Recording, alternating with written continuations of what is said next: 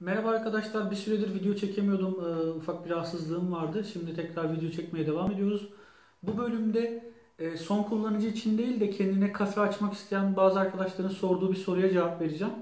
E, espresso makinesi seçerken neye dikkat etmeleri gerekiyor? Hangi makineyi seçmeleri gerekiyor? Ne gibi özellikler aranması gerekiyor espresso makinesinde? Bunların üzerinde duracağım. Espresso makinesini seçerken dikkat edeceğiniz en büyük nokta makinenin kapasitesi. Kapasiteden kastım belli bir sürede ne kadar kahve yapabiliyor makineniz, ne kadar sürede toparlanabiliyor bununla ilgili. Yani e, bazı makineler saatte 200 tane kahve üretebilirken bazı makineler saatte 50 tane üretebiliyorlar. Buna dikkat etmeniz gerekiyor. Saat olarak söylememin sebebi de aslında en büyük düşülen hata burada bu. Piyasadaki yapılan en büyük hata. İşte bu makine 200 tane kahve üretir mantığıyla yola çıkıyor ama günlük olarak düşünüyorlar. Yani ben günde 200 tane kahve satarım bu da kaldırır bunu diye düşünüyorlar ama e, aslında sizin en yoğun olduğunuz saat çok önemli. Günde 200 tane kahve satıyorsunuz ama bu kahvenin 150 tanesini saat sabah 8 ile 9 arasında satıyorsanız sizin o e, bir saate e, odaklı olarak seçmeniz gerekiyor. Çünkü günlük olarak kaldırılabilir makineniz ama o bir saatte e, müşteriler sıraya girmeye başlayacaktır. Belli bir sürede sonra da canları sıkılıp güle güle arkadaş deyip dükkanınıza bir daha uğramayacaklardır. O yüzden e, bu saate çok önem vermeniz gerekiyor. Buradaki saat olayına da dediğim gibi e, nasıl yapabilirsiniz mantığıyla yola çıkarsak çevredeki dükkanların müşteri potansiyellerini inceleyip başka kafe varsa işiniz çok kolay zaten. Müşteri olarak oturup en kalabalık saatlerinde gelip giden müşteriyi incelersiniz. Ortaya çıkacaktır zaten rakam ama e, etrafta bir kafe yok, restoran tarzı yerler var. Oradan da bir doğaçlama yaparak e, çıkarımda bulunabilirsiniz. Makineyi hacimsel olarak seçmenin en büyük olayı dediğim gibi eğer makineniz insanlar birden hızlı şekilde gelip kahve istemeye başladığı zaman üretemiyorsa bu kadar kahveyi müşteriyi kaybetmeye başlayacaksınız. Bu çok büyük bir kayıp işletme için. Yani ufak bir makine, yani makineden kısıp e, para kar edeceğinizi düşünüyorsunuz. Gerçi bu, bu arada espresso makinesine verdiğiniz para aslında bir gider olarak düşünmemeniz gerekiyor. Bu yatırım. Espresso makinesini aldığınız zaman en azından bir 5-6 sene kullanacaksınız. İyi baktığınız şartlarda daha uzun da kullanabilirsiniz tabii size bağlı. O yüzden bunu bir yatırım olarak görün. E, yatırım maliyeti de aslında çok yüksek değil espresso makineler için. Hani sıfır veya ikinci el alıyor olmanız bir kenara yani sıfır aldığınızı düşünelim. Yani ortalama bir makine 15-20 bin lira e, yapıyor e, günümüzde neredeyse. Yani çok uçuk bir makine istemiyorsanız eğer. E, o yüzden bu 15-20 bin lira yatırım olarak düşünüp 5-6 senelik e, kazanç planını ortaya çıkarmanız lazım ki makinenin yaptığı bütün kahvelerin parasını e, tuttuğunuzu düşünelim. 6 ayda falan çok rahat parasını çıkarıyor olacaktır e, pahalı bir makine. Pahalı almak zorunda değilsiniz tabii ki. E, yani yatırım olarak baktığınız zaman aslında düşüğe kaçmamanız gerekiyor. Yani o 1 saatlik veya 2 saatlik artık rush saatiniz ne kadar sürüyor bilmiyorum. Ona göre hesabınızı yapıp işte bu makine 1 saatte 150 tane kahve yapabilir Belki sizin o anki hesapladığınız hacim 100 tanedir ama ileriye dönük ben 150 çıkarabilecek, 200 çıkarabilecek bir makine alayım diyebilirsiniz. Piyasada yaşanan en büyük problemlerden biri. Hani kafe değil de işte çay salonu vesaire gibi yerler var ama yanda kahve de satmak istiyorlar. Ev tipi makineler alıyorlar. Ee, yani kaldırabileceğini düşünüyorlar bilmedikleri için. Ev tipi makineler bırakın birkaç kişiye servis etmeyi bir kişinin kahvesini yaparken bile işte espressoyu çektiniz bekliyorsunuz buhar kazanı ısıya ulaşıyor. Buharı kullanıyorsunuz vesaire. Makine çok hızlı soğuyor. Yani aynı anda gelip bir masa 4 tane kahve sipariş verdiği zaman o masayı ya 20 dakika bekleteceksiniz ki bu arada ilk yaptığınız kahveler soğumuş olacak ya da herkesin kahvesini tek tek götüreceksiniz ki bu işletme için çok kötü bir durum. Hani herkesin kahvesinin sırayla tek tek gelmesi 20 dakikaya yayarak. Bu arada dua edeceksiniz başka biri gelip kahve siparişi vermeyecek yoksa onu da bekletiyor olacaksınız. Sonunda bir saate kadar bekleyen insanlardan bahsediyoruz. E, o yüzden seçerken makinenizi e, süre hesabını çok güzel yapmış olmanız lazım. Bu arada makinenin kapasitesi yanında insan kapasitesi de var. Onu da ayrıca anlatacağım. Yani bazı özellikle makineler var. E, kısacası gidip ucu ucuna yetecek veya altında kalacak bir makine almayın kesinlikle. Bu sizin için kötü bir yatırım olur. O makineyi satıp yeniden makine almak zorunda kalacaksınız. Yapacak bir şey yok olacak bir yerden sonra. O yüzden en doğru makineyi seçmeye çalışın e, işletmeniz için. Burada kazan hacimleri çok önemli. Kazan tipleri var. İşte tek kazanlılar var, çift kazanlılar var. Heat exchanger dediğimiz bir olay var. Bunları ayrı ayrı anlatmam lazım. Bu videonun içine katmaya kalkarsam çok uzun bir video olur sanırım. E, yani makineyi alacağınız yerden danışarak zaten veya internette araştırma yaparak, ufak bir araştırma yaparak e, ya da bana da sorabilirsiniz bu makine iş görür mü bu kadar kahve üretimi açısından. İşte 6 litrelik bir makine mi almalısınız? Kazan hacminden bahsediyorum. Yoksa 10 litrelik bir makine mi almalısınız? Bunu kararlaştırıp sonraki adımlara geçeceksiniz. Sonraki adımlarda da e, yine en önemli adımlardan biri e, makinenin volümetrik yani ayarlanabilir olup olmadığı bazı makinelerde dikkat ettiyseniz bir tane düğme vardır. O düğmeyi basarsınız. Tabii portafiltre vesaire taktınız onunla. Geçtim o kısımları. Basarsınız. E, şatınız bittiğinde tekrar basıp o makineyi durdurursunuz. Yani tamamen sizin kontrolünüzdedir makine. Tabii bunu yaparken bir taraftan da süt köpürtmek zorunda kalabilirsiniz. Yani makineyle ilgilenecek olan kişi eğer sizseniz e, multitasking yani aynı anda birkaç görevi yapabiliyor musunuz? O çok önemli. Yani espressoyu taktınız, bastınız, beklediniz 25 saniye. Ondan sonra sütü köpürtmeye başladınız, sonra döktünüz. Bunların hepsini topladığınız zaman çok uzun bir süre yapıyor. Aynı anda 5-6 kahve siparişi gelirse eğer yani kahve satan bir dükkansanız ki gelecektir bu. Aynı anda 10 kahve de gelebilir. Ee, bu volümetrik olayı olmayan yani tamamen manuel olan makineler. Bu arada e, kahve makineleri dünyası biraz karmaşık kavramlara sahip. İşte manuel makineler var Yarı otomatik makineler var, tam otomatik makineler var. Yarı otomatik makineler de kendi aralarında e, manuel ve otomatik olarak değişiyor.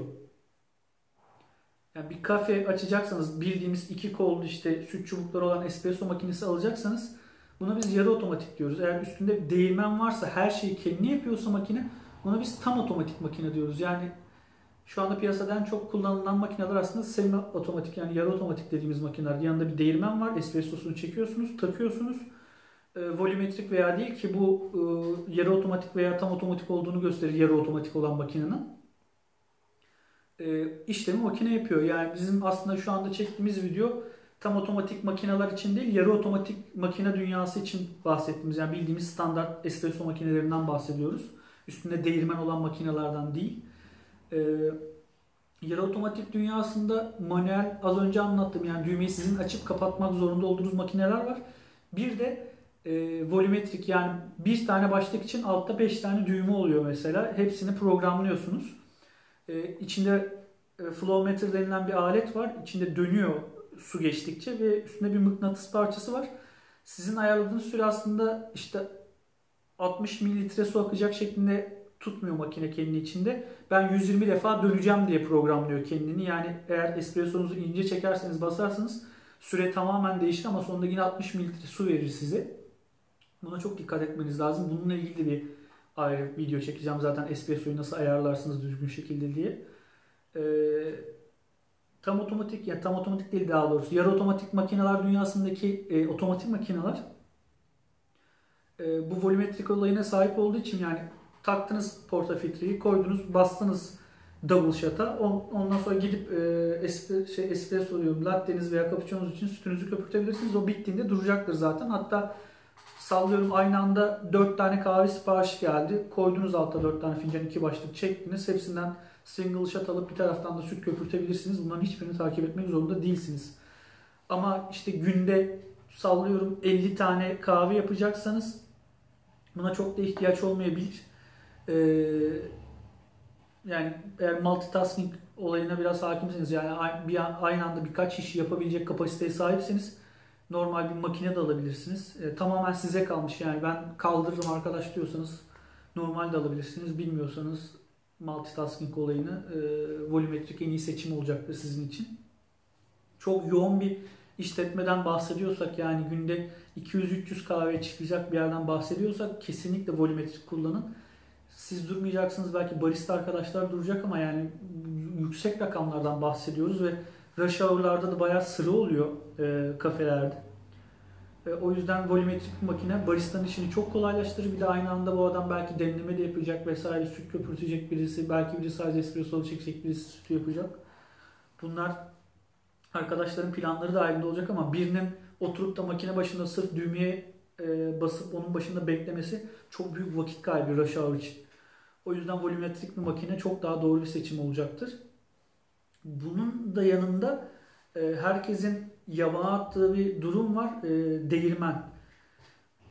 Videonun içinde şey yapıyorum, anlatıyorum. Yani değirmen nasıl seçilir diye bir video da yapabilirim aslında ama e, bu videonun içinde olması lazım bence. Herkes işte çok güzel bir makine alıp yanına dandik bir değirmen alırsanız hem kahvenizin öğütme kalitesi anlamında büyük kayıp olacaktır. Hem de e, hani az önce bahsettim makineniz belki bir saatte 150 tane kahveyi çok rahatlıkla çekiyor olabilir ama değirmeniniz eğer bu kapasiteye sahip değilse yani çok büyük e, bör yani dişli olan makineler var. E, bunlar ne bileyim bir espresso shot'ını 3-4 saniyede üretebiliyorlar. Bazısı 12-13 saniyede üretebiliyor. Bunların hepsi vakit kaybı. Yani toplama bağladığınızda bir kahve eğer müşteriye 5 dakika içinde veremiyorsanız çok büyük problemleriniz var demektir eğer setup'ınız içinde. Yani bu değirmen de olabilir, makine olabilir, e, makineyi kullanan kişi de olabilir.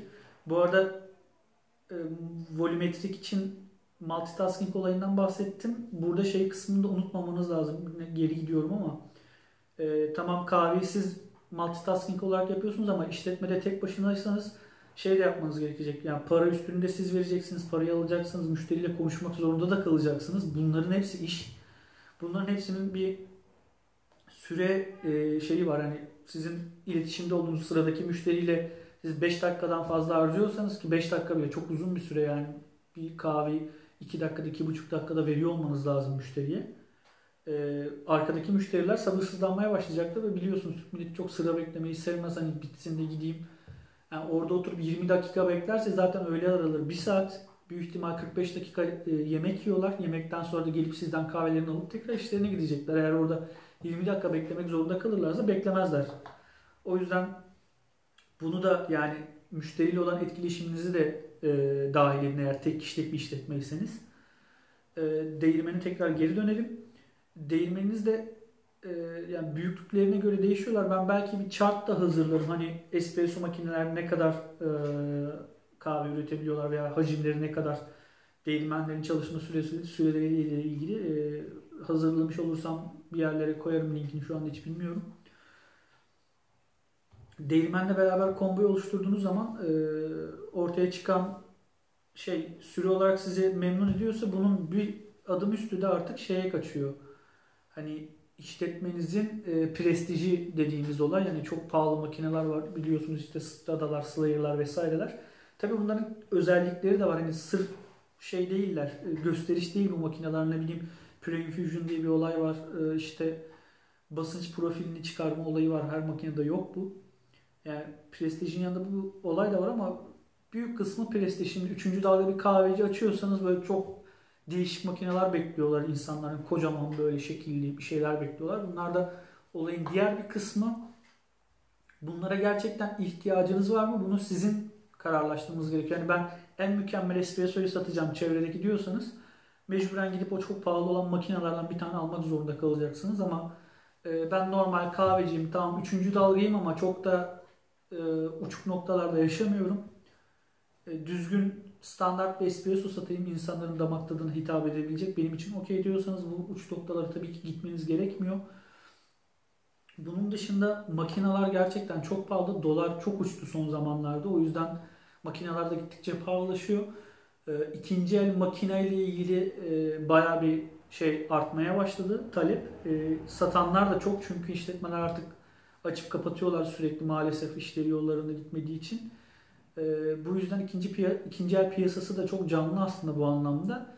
Ama e, makineyi al, alırken dikkat edeceğiniz e, çok nokta var. Hani ikinci el makine almakla ilgili ayrı bir video çekeceğim. E, çekmiş olursam yukarıları bir yerlere linklerini koyarım. İkinci el makineye de yönelebilirsiniz yani. E, sanırım şimdilik bu kadar. Eğer makinelerle ilgili veya genel olarak herhangi bir sorunuz varsa bana sormaktan kesinlikle çekinmeyin. Yardımcı olmak isterim her zaman elimden geldiğince. E, sanırım videonun sonuna geldik. E, kendinize iyi bakın. Kahveyle kalın.